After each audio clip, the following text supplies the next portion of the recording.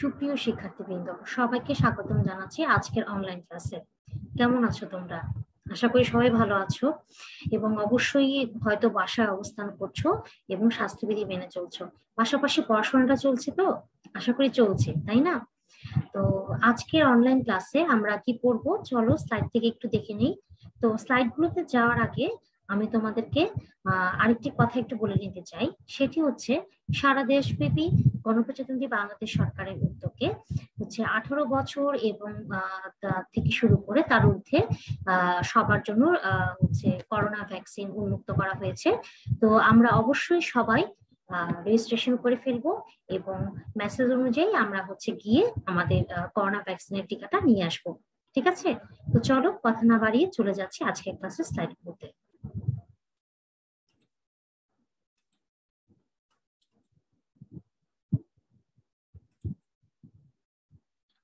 ঢাকা কলেজে আয়োজিত অনলাইন ক্লাসে তোমাদের আরও একবার স্বাগত জানাচ্ছি। তো আজকে আমরা কি ক্লাস করছি? আজকে আমরা উচ্চ মাধ্যমিক প্রথম বর্ষে একশো তিরিশ নাম্বার যে কোডটা আছে, তার উপরে ক্লাস নেব। অর্থাৎ পরিসংখ্যান দ্বিতীয় পত্রে ক্লাস নেব।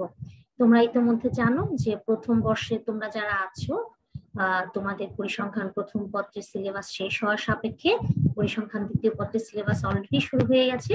এবং দ্বিতীয় পত্রের ক্লাসটা আমি শুরু করেছি তোমাদের এবং নতুন একটা চ্যাপ্টার শুরু করেছি। তো চলো সেই ক্লাসে যাওয়ার আগে প্রথমে আমার পরিচয়টা একটু দিয়ে নিই। আমি তিথি দাস, প্রভাষক, পরিসংখ্যান বিভাগ, ঢাকা কলেজ ঢাকা। অবশ্যই পরিসংখ্যান বিভাগে গেলে আমার দেখা তোমরা পাবে। এরপরে আমি চলে যাচ্ছি আজকে পাঠ শিরোনামে অর্থাৎ আমরা আজকে কি পড়ব? আমরা আজকে সম্ভাবনা পড়ব আমরা কিন্তু সম্ভাবনাই পড়ছিলাম সম্ভাবনার ইতোমধ্যে আমাদের দুইটা ক্লাস হয়ে গেছে এবং আজকে সম্ভাবনার উপরে আমরা হচ্ছে তৃতীয় ক্লাস করব। আর আমরা জানি যে এই সম্ভাবনা চ্যাপ্টারটা পরিসংখ্যান দ্বিতীয় পত্রের প্রথম যে অধ্যায়টা আছে সেটা। আচ্ছা তো চলো এরপরে একটু আমরা দেখে নিই যে গতদিন ক্লাসে অর্থাৎ সম্ভাবনার উপরে যে দ্বিতীয় যে ক্লাসটা ছিল, দুঃখিত সেই ক্লাসে আমরা কি কি পড়েছিলাম? একটু রিভিউ করে নিলে তোমাদের হচ্ছে লিঙ্ক আপ করতে সুবিধা হবে।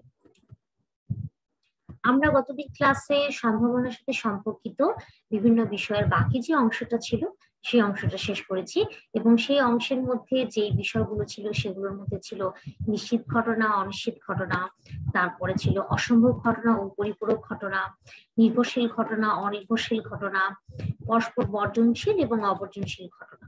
এরপরে আমরা এই সম্পর্কিত বিষয়গুলো শেষ করার পরে পড়েছিলাম সেট, বিন্যাস এবং সমাবেশ। তো আশা করি তোমাদের হচ্ছে বিষয়গুলো মনে আছে, কোনটা কি ছিল। তো হচ্ছে যদি তোমরা ভুলে যাও বা হচ্ছে মনে করার প্রয়োজন পড়ে, অবশ্যই তাহলে দ্বিতীয় যে ক্লাসটা ছিল, রেকর্ড করা তো আছেই, সেখান থেকে তোমরা আরও একবার দেখে নেবে। এবার হচ্ছে চলে যাচ্ছি আজকের পাঠ তোমরা শেষ করার পরে কি কি শিখতে পারবে? আজকের পাঠ শেষে তোমরা সম্ভাবনার বিভিন্ন সংজ্ঞা ব্যাখ্যা করতে পারবে। পাশাপাশি শর্তহীন সম্ভাবনা ও স্বাধীন সম্ভাবনার ধারণাও ব্যাখ্যা করতে পারবে। আচ্ছা প্রথম টপিকে চলে যাচ্ছি। তো প্রথম টপিকে যাওয়ার আগে অর্থাৎ প্রথম টপিকটা কি ছিল? সম্ভাবনার বিভিন্ন সংজ্ঞা। তো বিভিন্ন সংজ্ঞা সম্ভাবনা নিয়ে যে বিভিন্ন সংজ্ঞাগুলো আছে সেগুলো পড়ার আগে আমরা সম্ভাবনা জিনিসটা কি ছিল সেটা আরেকবার একটু হচ্ছে রিভিউ করে নিব বা একটু মন স্মরণ করে নিব যে কি ছিল বিষয়টা। আমি যখন তোমাদের প্রথম ক্লাসটা করিয়েছিলাম প্রথম ক্লাসে সম্ভাবনা তত্ত্বে কিছু ধারণা তোমাদের দিয়েছিলাম।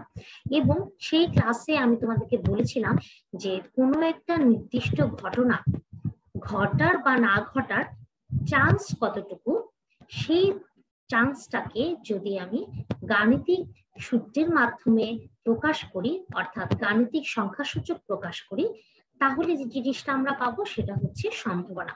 তো স্বাভাবিক অর্থে সম্ভাবনা মানেই তো হচ্ছে কোনো একটা ঘটনা ঘটবে বা ঘটবে না তার একটা চান্স এখন এই চান্সটাকে মেজার করার জন্য আমরা গাণিতিক সাহায্য নিয়ে থাকি এবং গাণিতিক সংখ্যাসূচক প্রকাশ করে থাকি এই সম্ভাবনা ঠিক আছে? তো সাধারণত সম্ভাবনাকে আমরা কি দিয়ে প্রকাশ করে থাকি? সম্ভাবনাকে আমরা পি দিয়ে প্রকাশ করে থাকি। যদি আমার কোনো একটা ঘটনা এ হয়, তাহলে এই ঘটনাটা ঘটার সম্ভাবনা হচ্ছে প্রবাবিলিটি অফ এ এই যে এখানে দেখো আমি লিখেছি, এটাকে আমরা পড়ব এইভাবে প্রবাবিলিটি অফ এ যদি আমার কোনো একটা ঘটনা বি থাকে, তাহলে সেক্ষেত্রে বি ঘটনাটি ঘটার সম্ভাবনা হচ্ছে প্রবাবিলিটি অফ বি আচ্ছা তো এখন প্রবাবিলিটি কোনো একটা ঘটনা কীভাবে কীভাবে না কোনো একটি ঘটনা ঘটবে বা ঘটবে কিনা সেটার হচ্ছে সম্ভাবনা বের করার জন্য আমরা কি প্রকাশ করে থাকি বা হচ্ছে কি দিয়ে প্রকাশ করে থাকি, কীভাবে প্রকাশ করে থাকি, সেটা আমরা দেখলাম। কিন্তু সরাসরি যে হ্যাঁ আমরা প্রকাশটা দেখলাম, কিন্তু এখন কীভাবে সম্ভাবনার মানটা বের করব? কারণ আমি বলেছি যে চান্সটাকে আমরা ম্যাথমেটিক্যালি ক্যালকুলেশন করে বের করে থাকি। আচ্ছা ধরো আমার কোনো একটা ঘটনা আছে এ হ্যাঁ? তো হচ্ছে সেই ঘটনাটা ঘটার সম্ভাবনা আমাকে বের করতে হবে। তাহলে আমরা কি করব? সেই প্রবাবিলিটি অফ এ সমান সমান আমরা সূত্রে লিখব হচ্ছে favourable outcome by total outcome এর মানে হচ্ছে যে এই যে আমার ঘটনা এ আছে, এই এই ঘটনাটার ক্ষেত্রে সম্ভাব্য যে ফলাফলগুলো আমরা পাবো, সেটার সংখ্যা আমরা লিখব উপরে ডিভাইডেশনের উপরে। অর্থাৎ কোন ঘটনার অনুকূলের ফলাফলের সংখ্যা, এখানে কোন ঘটনা বলতে এই ঘটনাটাকে বোঝানো হয়েছে। আর আমি সেটাকে ভাগ দিব নমুনা ক্ষেত্রে সকল ফলাফলের সংখ্যার সাথে। অর্থাৎ এ, এই ঘটনাটা যেই নমুনা ক্ষেত্র থেকে এসেছে, সেই নমুনা ক্ষেত্রে টোটাল কয়টা নমুনা বিন্দু ছিল, সেটার সংখ্যাটা আমরা দিব হচ্ছে ডিভাইডেশনের নিচে। অর্থাৎ একটা ঘটনা ঘটার অনুকূলে যে কটা সংখ্যা আমরা পাবো, অর্থাৎ যে কয়টা হচ্ছে নমুনা বিন্দু আমি পাবো, সেটার সংখ্যা যাবে আমার উপরে। আর হচ্ছে ওই ঘটনার হচ্ছে যেই নমুনা ক্ষেত্র থেকে এসেছে, ওই নমুনা ক্ষেত্রে সম্পূর্ণ নমুনা বিন্দুর সংখ্যা যাবে হচ্ছে নিচে। তো আমরা সংক্ষেপে এভাবে বলি যে সম্ভাবনা হচ্ছে ফেভারেবল আউটকামকে যদি আমি টোটাল আউটকাম দিয়ে ভাগ করি, তাহলে যে সংখ্যাটা আমি পাবো, সেই সংখ্যাটা হবে আমার আহ এর ঘটনা বা অন্য যে কোনো ঘটনা ঘটার প্রবাবিলিটি বা সম্ভাবনা। হ্যাঁ আরও একটা কথা বলে নিচ্ছি, সম্ভাবনার ইংরেজি কিন্তু প্রবাবিলিটি এর জন্যই কিন্তু আমরা প্রবাবিলিটি পি শব্দটা প্রবাবিলিটি শব্দটার প্রথম অক্ষর পিটাকে ব্যবহার করে সম্ভাবনাকে নির্দেশ করে থাকি। এবার আমরা চলে যাচ্ছি একটু উদাহরণে। একটা উদাহরণ নিয়ে যদি আমরা একটু দেখে নিই, তাহলে হচ্ছে প্রবাবিলিটি আমরা কীভাবে বের করব একটা ঘটনার জন্য সেটা আমাদের কাছে পরিষ্কার হয়ে যাবে। তো দেখো, আমাদের ছক্কা নিক্ষেপ যখন আমরা করি, সে ছক্কা নিক্ষেপের ক্ষেত্রে নমুনা ক্ষেত্র, আমরা কি লিখি? যে নমুনা ক্ষেত্র এস হচ্ছে one two three four five six আচ্ছা এখন আমরা যে কোনো একটা ঘটনা এ কে কনসিডার করছি। তো কোন ঘটনাটাকে আমি এ দিয়ে ডিনোট করছি? ছক্কায় তিন করার ঘটনা, এই ঘটনাটাকে আমি এ দিয়ে ডিনোট করছি। আচ্ছা তো এইটার ফলাফল, ছক্কায় তিন করার ঘটনা, এইটাকে আমরা সেট হিসেবে লিখলে কি হবে? এ ইকুয়াল টু থ্রি অর্থাৎ এর ফলাফল আমার কি আছে? একটা ফলাফল আছে থ্রি ঠিক আছে? আর নমুনা ক্ষেত্রে এস এর কয়টা ফলাফল আছে? একটা, দুইটা, তিনটা, চারটা, পাঁচটা, ছয়টা, ঠিক আছে? আচ্ছা তাহলে আমার নমুনা ক্ষেত্রে সকল ফলাফলের সংখ্যা কত? এই ছয়, ঠিক আছে? যেহেতু ছয়টা আছে টোটাল কয়টা আছে? সেটা ওকে টোটাল আউটকাম আচ্ছা আর এই ঘটনা, অর্থাৎ ছক্কায় তিন পড়বে, এই ঘটনাটার অনুকূলে ফলাফলের সংখ্যা কয়টা হবে? দেখো, এখানে আমরা দেখেছি যে তিন পড়ার ঘটনা এখানে একটাই আছে। তাহলে শুধুমাত্র থ্রি আমরা লিখলাম। তাহলে এখানে আমার ফলাফলের সংখ্যা কত হলো? এক। অর্থাৎ একটা ফল পেয়েছি। তাহলে ঘটনার অনুকূলে ফলাফলের সংখ্যা হচ্ছে ওয়ান আমরা বলেছি যে তাহলে হচ্ছে এই এ ঘটনাটা, অর্থাৎ সংখ্যায় তিন পড়ার ঘটনা ঘটার সম্ভাবনা হচ্ছে probability of A equal to অনুকূলে ফলাফলের সংখ্যা কত? এক। সেটা যাবে উপরে। আর সকল ফলাফলের সংখ্যা ছয়, এটা যাবে নিচে। অর্থাৎ favourable outcome divided by total outcome এবার আমরা চলে যাচ্ছি মূল আলোচনা, অর্থাৎ সম্ভাবনার সংজ্ঞা। এই যে আমরা একটু আগে সম্ভাবনার একটা ওভারঅল সংজ্ঞা পড়লাম বা হচ্ছে ওভারঅল একটা ধারণা পেলাম, এই জিনিসটাও কিন্তু এই সম্ভাবনার সংজ্ঞার মধ্যে অন্তর্ভুক্ত।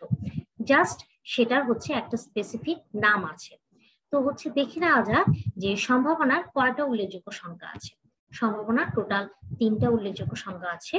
এই তিনটা হচ্ছে সম্ভাবনার অবরোহী সংজ্ঞা সম্ভাবনার আরোহী সংজ্ঞা এবং সম্ভাবনার শতসিদ্ধ সংজ্ঞা এবার আমরা হচ্ছে চলে যাচ্ছি যে সম্ভাবনার অবরোহী সংজ্ঞাতে ঠিক আছে? এই যে আমরা একটু আগে সম্ভাবনার যে উদাহরণ দিয়ে সম্ভাবনা কীভাবে নির্ণয় করে সেটা বের করলাম সেটা যে সংজ্ঞার আন্ডারে বা হচ্ছে যে সংজ্ঞার ক্রাইটেরিয়া থেকে আমরা করেছি, সেই সংজ্ঞাটাকে আমরা ডিফাইন করব অবরোহী সংজ্ঞা হিসেবে, অর্থাৎ সম্ভাবনার অবরোহী সংজ্ঞা। কি ছিল বিষয়টা? যে অনুকূলে ফলাফলের সংখ্যা ডিভাইডেড বাই ছিল হচ্ছে সকল ফলাফলের সংখ্যা, অর্থাৎ ফেভারেবল আউটকামকে যদি আমি টোটাল আউটকাম দিয়ে ভাগ করি, তাহলে যে অ্যান্সারটা আমি পাবো, সেটা হবে আমার ওই স্পেসিফিক ঘটনা ঘটার সম্ভাবনা।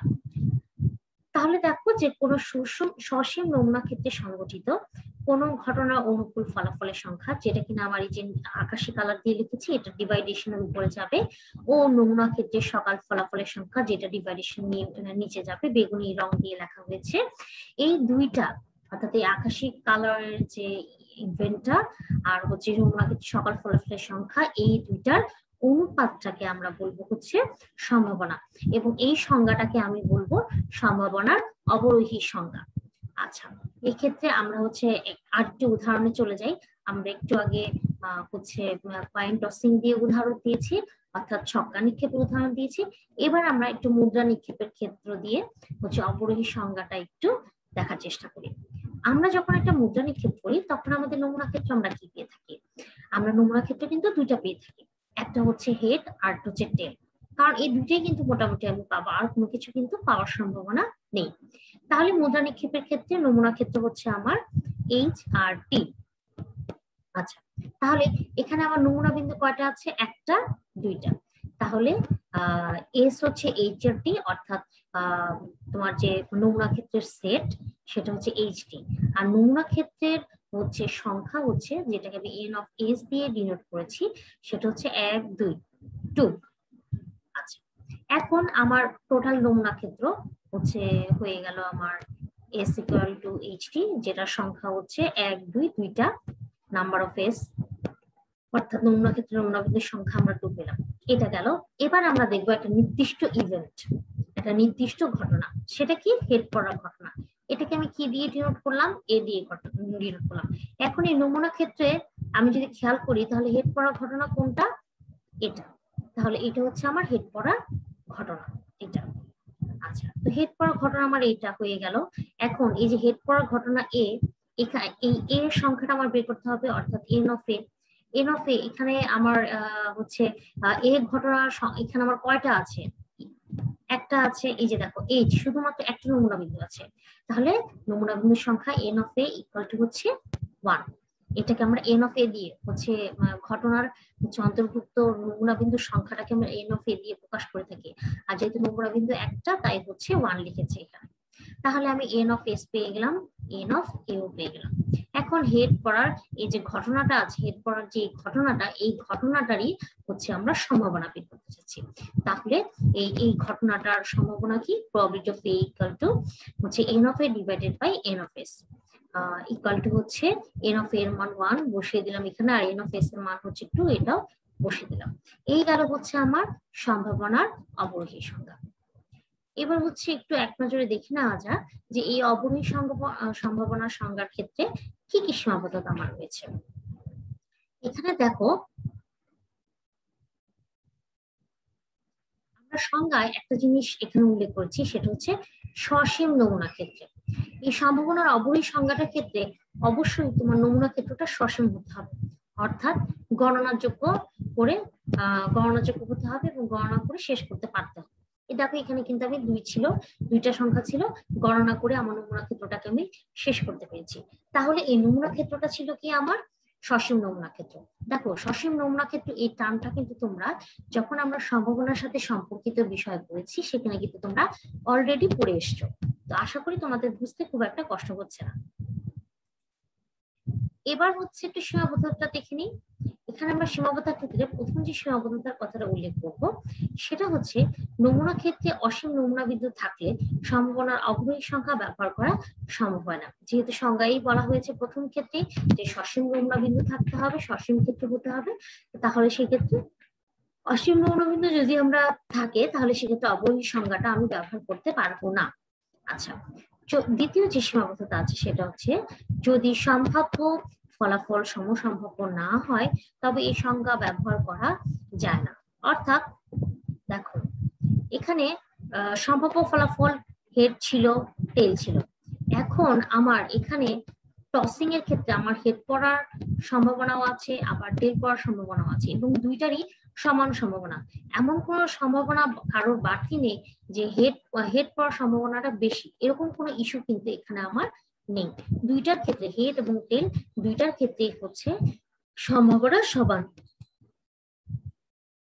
আচ্ছা যেহেতু সম্ভাবনা সমান, যদি কোনো ক্ষেত্রে এরকম হয়ে থাকে যে আমার ফলাফলগুলা সম্ভাবনা সমান নয়, সেক্ষেত্রে কিন্তু আমি এই সংজ্ঞাটা ব্যবহার করতে পারব না।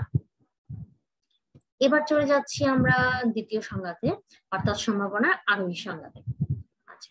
সম্ভাবনার আরোহী সংখ্যার ক্ষেত্রে হচ্ছে আমি একটা জিনিস আগে একটু বলে নিই, যে আমরা যখন কয়েন টস করি যেমন একটু আগের স্লাইডটাতে আরেকবার যাচ্ছি। দেখো, এখানে যখন আমরা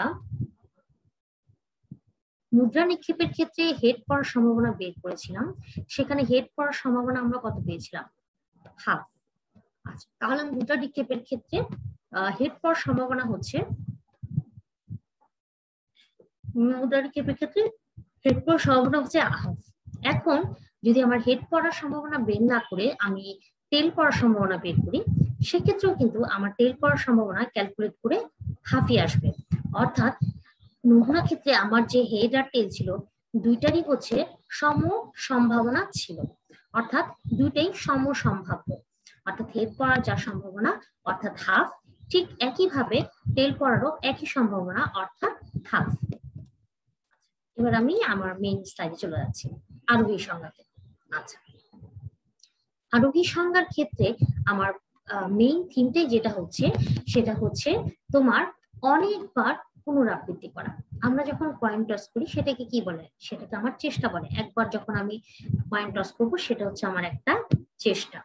এই যে চেষ্টাটা, এটা যদি আমি অনেকবার পুনরাবৃত্তি করি এবং করতে করতে এমন পরিমাণে পুনরাবৃত্তি করি যে প্রায় অসীমের কাছাকাছি চলে যায়, তাহলে সেক্ষেত্রে আমার হচ্ছে ঘটনার অনুকূলের সংখ্যা আর হচ্ছে টোটাল নমুনা ক্ষেত্রের অনুকূলের সংখ্যার যে রেশিওটা সেটা আমার একটা স্থির রাশি হবে। অর্থাৎ বিষয়টা হচ্ছে এরকম যে আমি পুনরাবৃত্তির সংখ্যা যত বাড়িয়ে দেব, আমার এক্সাক্ট রাশি অর্থাৎ স্থির রাশি পাওয়ার সম্ভাবনাটাও বেড়ে যাবে। অর্থাৎ যত বেশি আমি পুনরাবৃত্তি করব, আমার রাশিটা তত বেশি স্থির হয়ে আসবে। তো তোমাদের কাছে হয়তো বিষয়টা একটু কঠিন লাগছে। তো হচ্ছে একটু উদাহরণ দিয়ে বোঝালে তোমরা বিষয়টা আরও ক্লিয়ার হবে।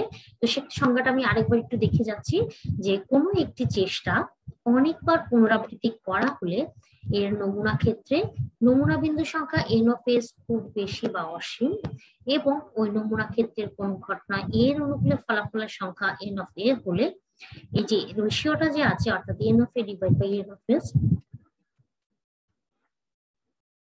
দুঃখিত, এটা হচ্ছে একটা স্থির রাশি হবে।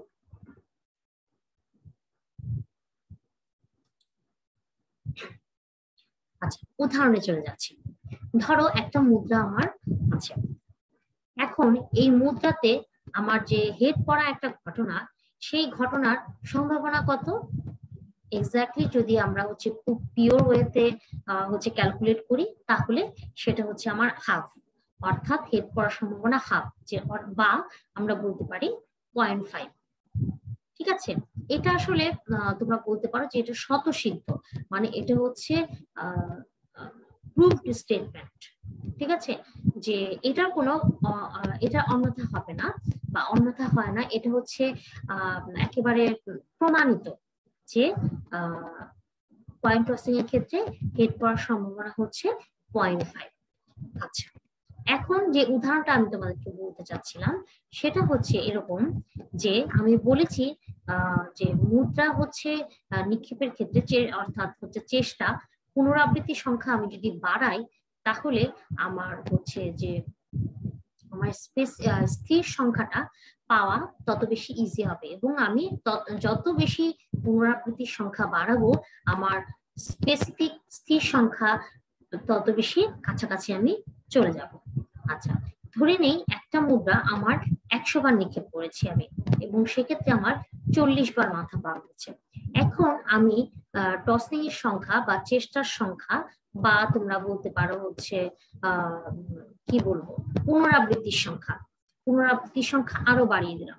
আগের বার আমি একশো বার নিক্ষেপ করেছিলাম, অর্থাৎ একশো বার পুনরাবৃত্তি করেছিলাম।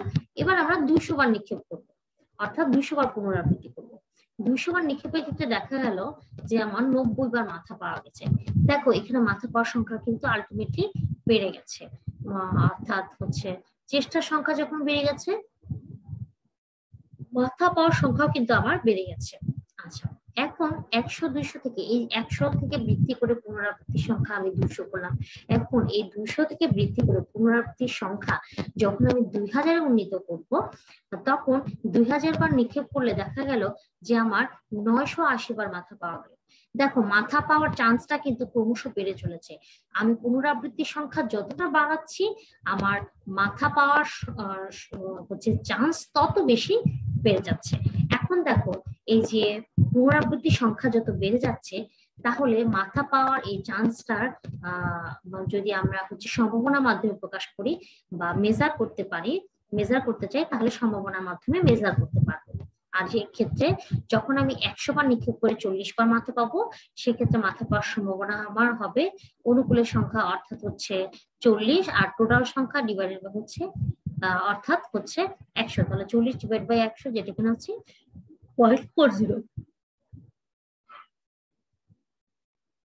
আবার দেখো পুনরাবৃত্তির সংখ্যা যখন আমি দুইশো বাড়িয়ে দুইশো করলাম এবং নব্বই বার মাথা পেলাম, সেক্ষেত্রে মাথা পাওয়ার সম্ভাবনা আমার আসছে নব্বই ডিভাইডেড বাই দুইশো। অর্থাৎ অনুকূলের সংখ্যা ডিভাইডেড বাই টোটাল সংখ্যা। কত হলো? পয়েন্ট ফোর ফাইভ দেখো প্রবাবিলিটির মান, সম্ভাবনার মান কিন্তু ধীরে ধীরে আমার বাড়ছে। এখন দেখো, আমি যদি পুনরাবৃত্তির সংখ্যা আরও বাড়িয়ে দিয়ে একেবারে দু হাজার করে ফেলি, সেক্ষেত্রে দেখা গেল যে নয়শো আশি বার মাথা পাওয়া গেছে। আর সেক্ষেত্রে প্রবাবিলিটি মান কি হবে? নয়শো আশি ডিভাইডেড বাই টু আচ্ছা সেক্ষেত্রে এটা ক্যালকুলেট করলে আসে আমার হচ্ছে পয়েন্ট ফোর নাইন দেখো, এখন আমি পুনরাবৃত্তির সংখ্যা যত বাড়াচ্ছি একশো, দুইশো, দুই হাজার, আমার সেক্ষেত্রে মাথা পাওয়ার যে সম্ভাবনা প্রবাবিলিটিটা সেটা কিন্তু ক্রমশ বেড়েই চলেছে। পয়েন্ট ফোর জিরো তারপরে বেড়ে হয়েছে পয়েন্ট ফোর ফাইভ তারপরে বেড়ে হয়েছে পয়েন্ট ফোর সিক্স এরকম সরি পয়েন্ট ফোর নাইন এরকম করে বাড়তে বাড়তে আমাদের যে শতসিদ্ধ মান, অর্থাৎ probability of H equal to point five এই পয়েন্ট ফাইভ এর একেবারে নিকটবর্তী হচ্ছে বা হচ্ছে আরও যদি আমি পুনরাবৃত্তি বাড়াই, তাহলে হয়তো দেখা যাবে সরাসরি জিরো পয়েন্ট ফাইভ আমার চলে আসছে। এখন এই যে পুনরাবৃত্তি করার মাধ্যমে আমরা যে থিমটা সম্ভাবনার সংজ্ঞার ক্ষেত্রে ব্যবহার করে থাকি, এটাকে হচ্ছে বলা হয় সম্ভাবনার আরোপী সংজ্ঞা। এবার আমরা চলে যাচ্ছি, এই আরবি সংজ্ঞার হচ্ছে কিছু সীমাবদ্ধতা।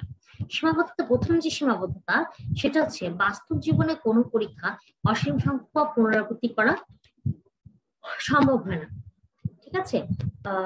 অসংখ্য সংখ্যক বার হচ্ছে যেমন হচ্ছে যে এক হাজার বার, দুই হাজার বা তিন হাজার বার আমি যে ট্রায়াল করছি বা চেষ্টা করছি, এটা আসলে অনেক সময় একেবারে সম্ভবপর হয়ে ওঠে, অসম্ভব হয়ে পড়ে। আচ্ছা তারপরে দ্বিতীয় যে সীমাবদ্ধতা, সেটা হচ্ছে সীমায়িত মান সব ক্ষেত্রে পাওয়া নাও যেতে পারে।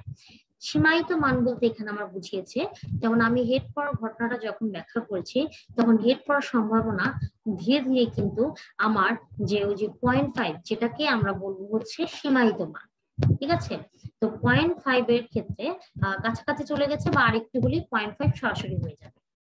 এখন এই যে আমার আস্তে আস্তে পুনরাবৃত্তি সংখ্যা বাড়ার সাথে সাথে প্রবাবিলিটির মান ধীরে ধীরে বৃদ্ধি পেল, এটা কিন্তু হচ্ছে বৃদ্ধি পেয়ে পেয়ে এই যে আমার পয়েন্ট ফাইভ বরাবর আসলো বা আসছে, কারণ পয়েন্ট ফোর নাইনকে আমি আলটিমেটলি পয়েন্ট ফাইভ দিতে পারি, তো এটা কিন্তু এই সীমায়িত মানটা কিন্তু সব ক্ষেত্রে অ্যাচিভ আমার হয় না। অর্থাৎ পুনরাবৃত্তি করতে করতে যে একেবারে সরাসরি পয়েন্ট ফাইভ আসে, এরকম সবসময় আমার হয়ে ওঠে না। আচ্ছা তৃতীয় যেই সীমাবদ্ধতাটা রয়েছে সেটা হচ্ছে পরীক্ষার সব পুনরাবৃত্তিকে সমান শর্ত বজায় রাখা নাও যেতে পারে।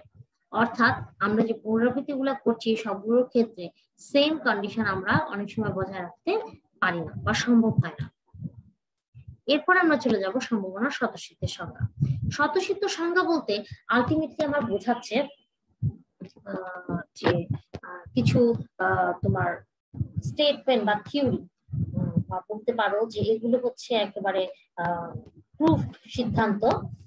এগুলো হচ্ছে আমরা যখন সম্ভাবনার অঙ্ক করব বা সম্ভাবনার হচ্ছে কাজ করব, তখন হচ্ছে এগুলো আমার হচ্ছে একেবারে শতসিদ্ধ থাকবে। এই থিমগুলো আমরা সব জায়গায় হচ্ছে ব্যবহার করতে পারব।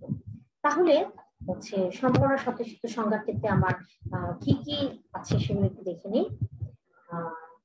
অর্থাৎ কি কি শতসিদ্ধ সূত্র আমরা মেনে চলি সম্ভাবনা ক্ষেত্রে সেগুলো একটু দেখে নেওয়া প্রয়োজন।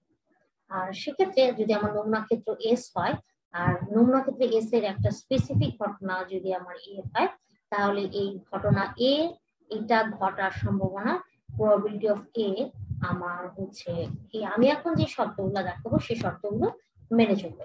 প্রথম যে শর্তটা মেনে চলবে, সেটা হচ্ছে প্রবাবিলিটি অফ এ একটি বাস্তব সংখ্যা হবে। আচ্ছা বাস্তব সংখ্যা। তো বাস্তব সংখ্যা ওভাবে বলতে আমি বোঝাতে চাচ্ছি যে কোনো আনডিফাইন্ড মান আমি পাবো না বা হচ্ছে আনডিফাইন্ড মান আমার হচ্ছে গ্র্যান্টেড হবে না। আর হচ্ছে এক কথা হচ্ছে বাস্তব সংখ্যা তো তোমরা জানোই। তো যে প্রবাবিলিটি মানটা হবে সেটা আমার একটা বাস্তব সংখ্যা হবে, কোনো অবাস্তব সংখ্যা হতে পারবে না।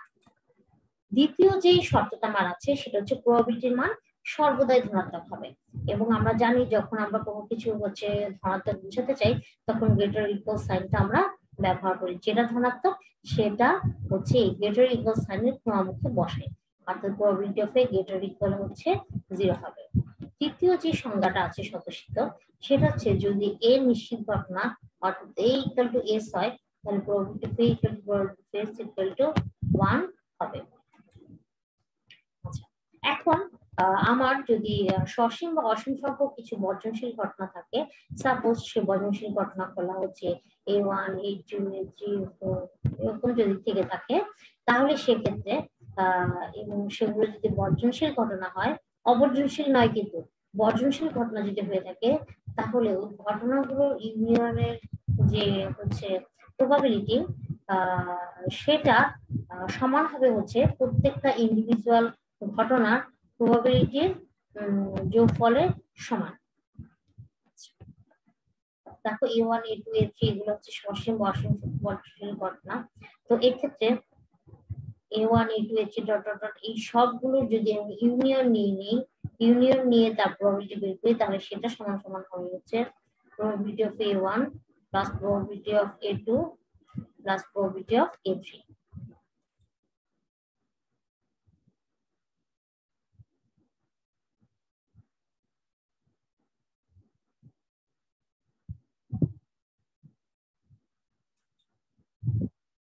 এবার এই সব।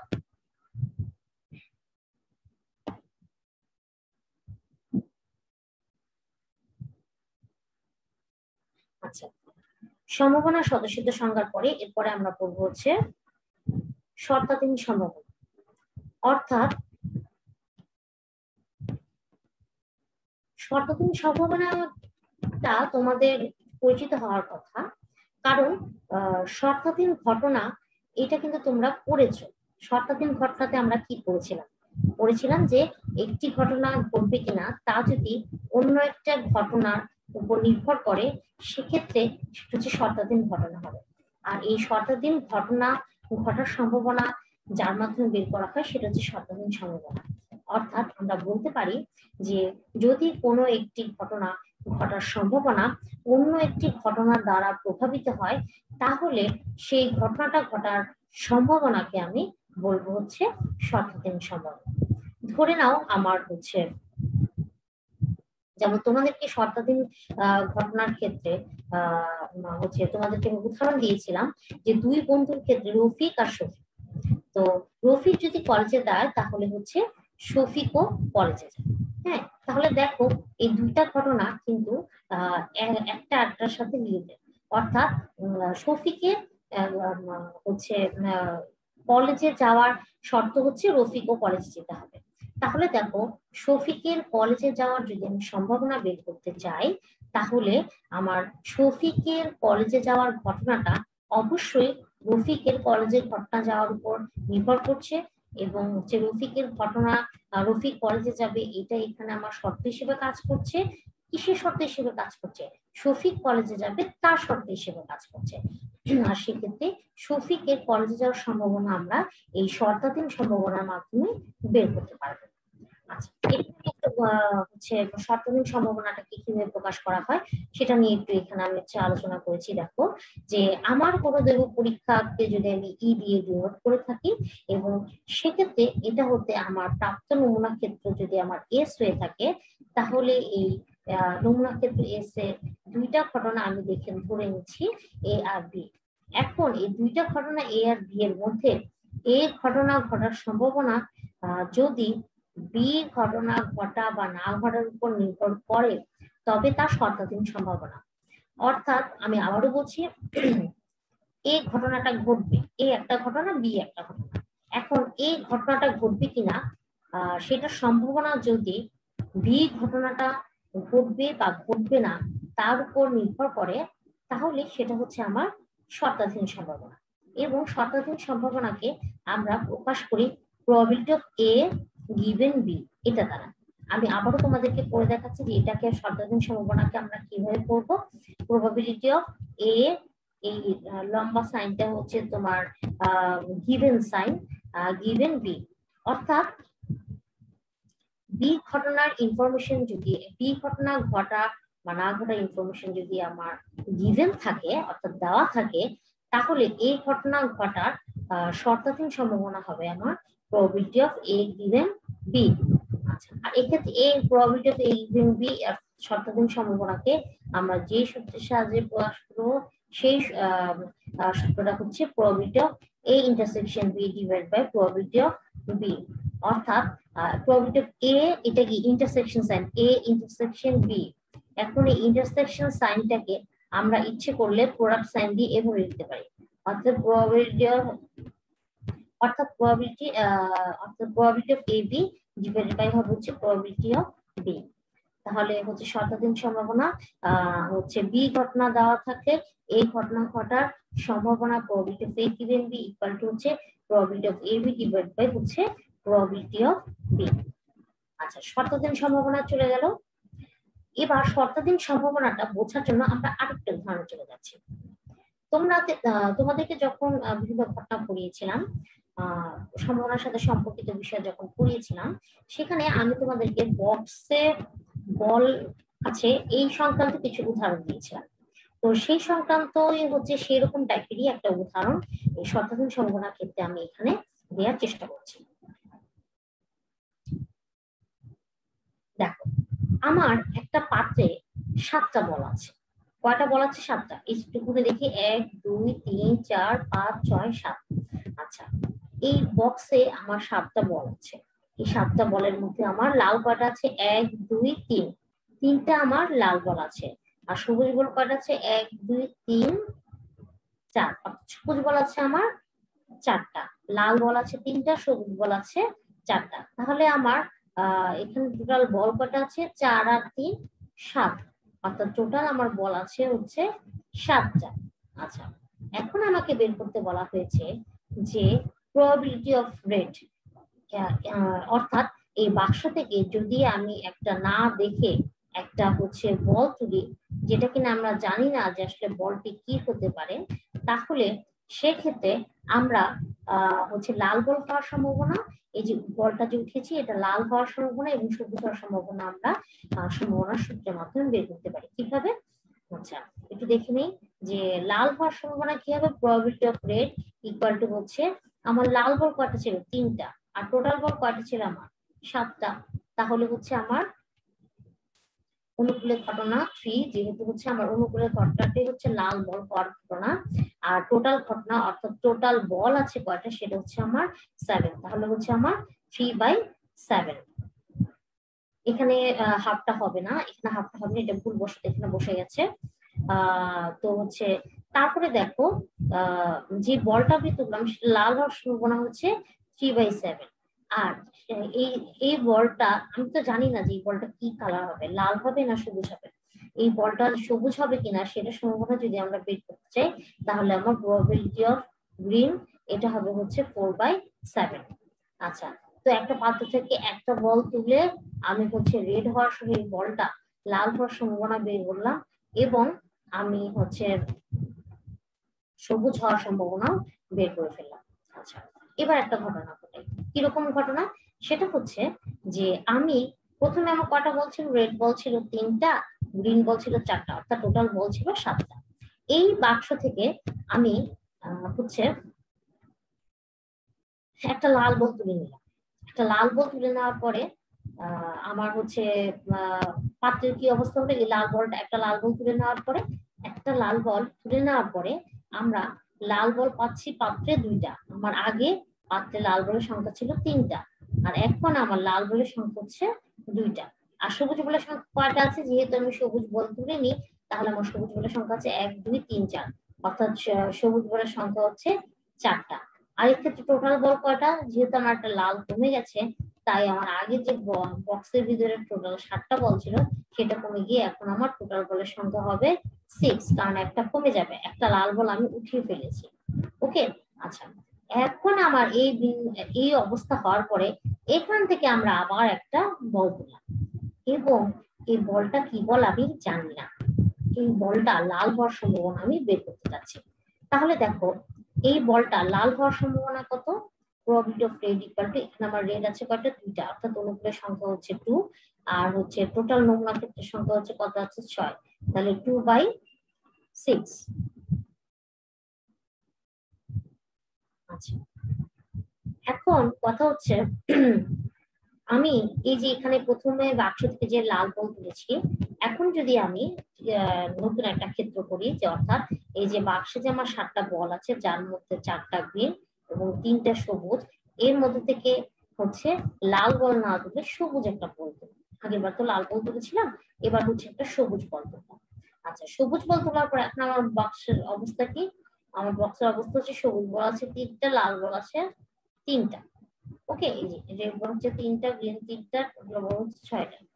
তাহলে দেখো, আমি টোটাল আমার ছয়টা বল আছে, কারণ একটা সবুজ বল আমি তুলে ফেলেছি। এখন এখান থেকে যদি আমি আবার দৈব চয়নে একটা বল তুলি এবং আমরা জানি না যে বলটা কি কালার তাহলে সেক্ষেত্রে আমরা প্রবাবিলিটির মাধ্যমে সেই বলটা লাল হওয়ার সম্ভাবনা বের করতে পারব।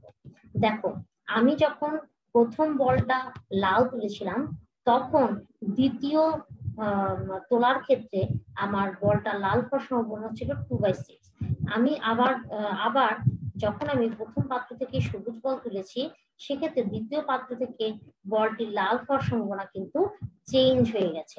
প্রথম ক্ষেত্রে ছিল টু বাই সিক্স এখন আমার দ্বিতীয় ক্ষেত্রে হয়েছে থ্রি বাই সিক্স ওকে দেখো, তাহলে এখানে আমার কিন্তু এই যে এখানে আমার দ্বিতীয় দ্বিতীয় ক্ষেত্রে আমি যে বলটা হচ্ছে তুলেছি, সেই বলটা লাল হবে কিনা, সেটা কিন্তু আমার পূর্ববর্তী একটা শর্তের উপর নির্ভর করছে। কি শর্ত?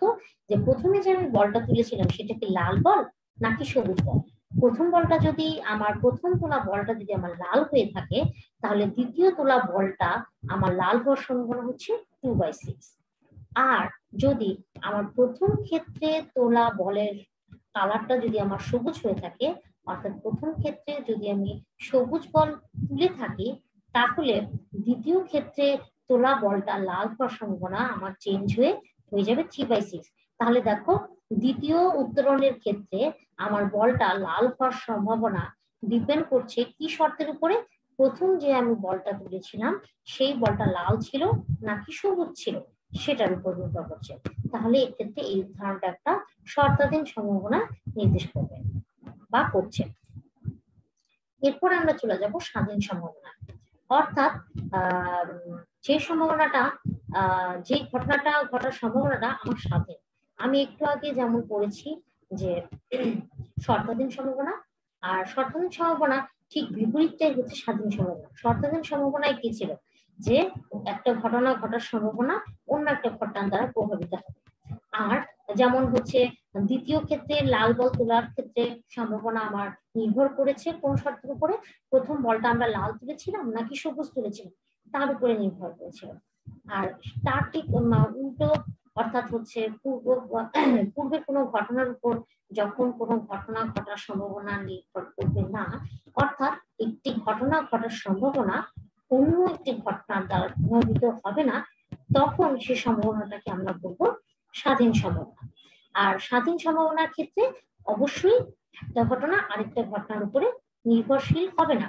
একেবারে অনির্ভরশীল হবে, নিজে নিজে করবে, এটার জন্য কোনো নির্ভরশীলতা কাজ করবে এখন ধরে নিচ্ছি আমার দুইটা ঘটনা এ আর বি তাহলে এ ঘটার সম্ভাবনাকে আমি কি দিয়ে প্রকাশ করি? প্রবাবিলিটি অফ এ দ্বারা বি একটা ঘটনা যদি হয়ে থাকে, তাহলে তার সম্ভাবনা কি? প্রবাবিলিটি অফ বি আর এ বি দুইটা একত্রে ঘটার সম্ভাবনা হচ্ছে প্রবাবিলিটি অফ এ বি এখন স্বাধীন সম্ভাবনার ক্ষেত্রে আমরা দেখতে পাই যে দুইটা ঘটনা একত্রে ঘটার যে সম্ভাবনা, অর্থাৎ প্রবাবিলিটি অফ এ বি অর্থাৎ প্রবাবিলিটি অফ এ হচ্ছে প্রবাবিলিটি অফ এ বি এইটা পৃথক পৃথক ভাবে ঘটনা দুইটা ঘটার গুণফলের সমান। অর্থাৎ প্রবাবিলিটি অফ এ বি সমান সমান হচ্ছে probability of A into probability of B অর্থাৎ দুইটা ঘটনা আছে আমার এ আর বি হ্যাঁ? এই দুইটা ঘটনা একত্রে ঘটার সম্ভাবনা আমার সে সমান হবে এই ঘটনাটা ঘটার সম্ভাবনা এবং বি ঘটনাটা ঘটার সম্ভাবনা এই দুইটা গুণফলের উপরে। অর্থাৎ probability of A B equal to হচ্ছে probability of A into probability of B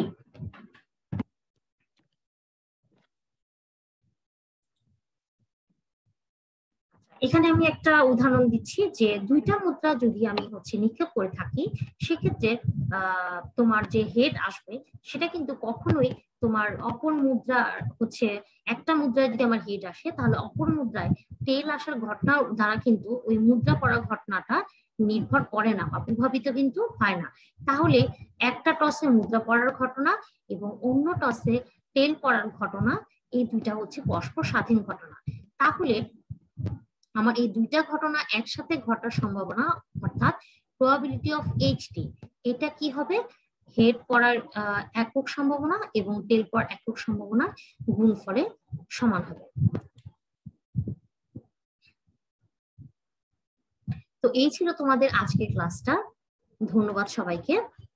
ক্লাসটা মনোযোগ দিয়ে দেখার জন্য এবং তোমরা সবাই আবারও বলছি, স্বাস্থ্যবিধি মেনে চলবে এবং যতদূর সম্ভব করোনা ভ্যাকসিনের টিকা নিয়ে নিবে। তোমাদের সবার জন্য শুভকামনা রইল। আজকে ক্লাস এই পর্যন্তই। পরবর্তী ক্লাস দেখার আমন্ত্রণ জানিয়ে আজকে আমি বিদায় নিচ্ছি। ধন্যবাদ সবাইকে।